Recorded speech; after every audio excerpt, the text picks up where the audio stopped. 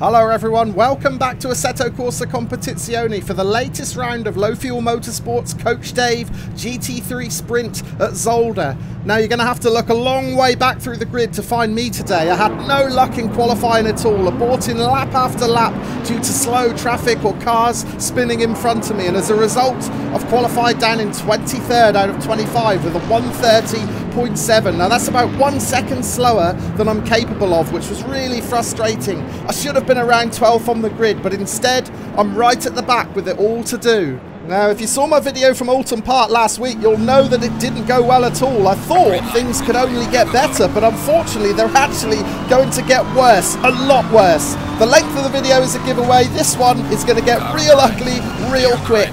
And it's going to start straight away in front of me at T1 with the coming together between two BMWs there. That was Oleg Titov on the inside who just got squeezed onto the grass by Luke Tenetry.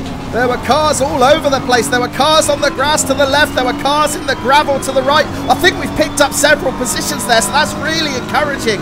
And as we approach turn four, we're going to tuck in behind this Audi of Florian Waterman. Get on the gas to start the charge down the long straight. And there's a McLaren coming right back across the track up with it completely wiped out. Oh no, we absolutely hammered that barrier on the left. I don't think I'm going to be able to continue here. Yeah, the car's undrivable. We've got the hamburger flag. We're going to have to pull over and go back to the pits.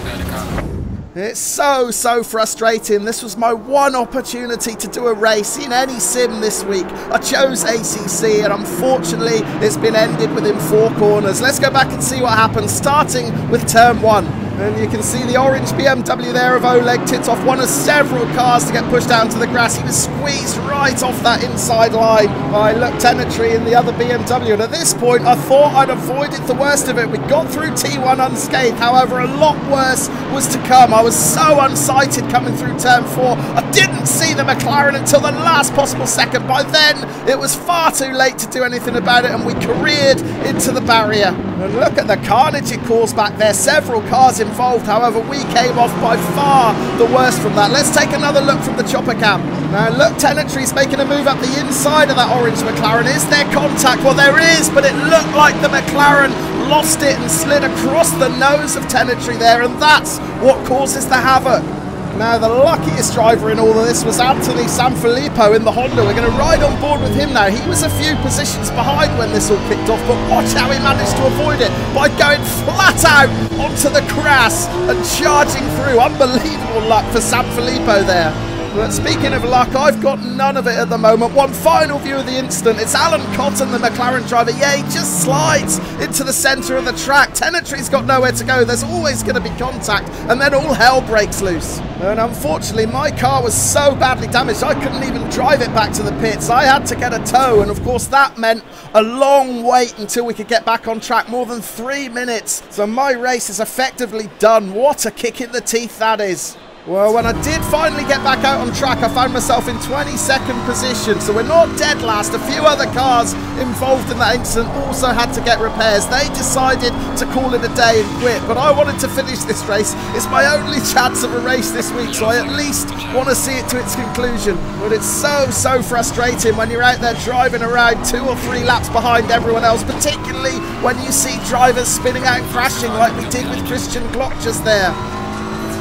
And what was even more frustrating was seeing just how much quicker I was than a lot of the other drivers on track. Take Ryan Zhang, for example. He's racing in 13th position, and I'm so much quicker than him. However, I didn't feel like it was the right thing to do to try and unlap myself. I'm not fighting for positions, so I didn't want to affect his race, so I did just hang back. However, look at my lap times. I've managed to get into the 129s, so much quicker than qualified, and we're going to lose Zhang in front, and he almost takes us out. We have to go on to the grass to avoid more contact. That was close. Yeah, we got really lucky there to avoid yet more damage. However, Zhang certainly wasn't so lucky. That hit into the tyre wall is going to send him into the pits for repairs, and that's actually going to give us a position because although Zhang was a lap ahead, his repairs are going to take long enough to give us 21st. And 21st position was where we stayed. There were no other big accidents, no other repairs needed. So unfortunately, a lonely race ended with us finishing in 21st. We did just get caught by Alan Brown to lap us at the end there. We're going to let him by, even though we're only a couple of corners from home.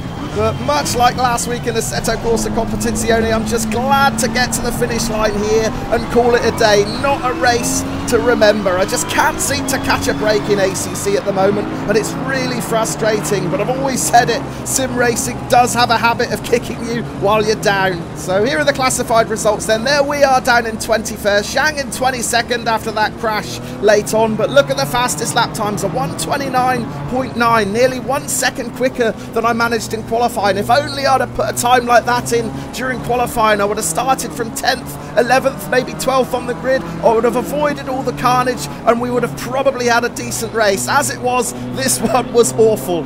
I can't complain though, we love sim racing for its realism and you have to take the rough with the smooth. Real racing drivers only get one shot a week to race and many of them will have it ruined in less than a minute. Today, it was my turn.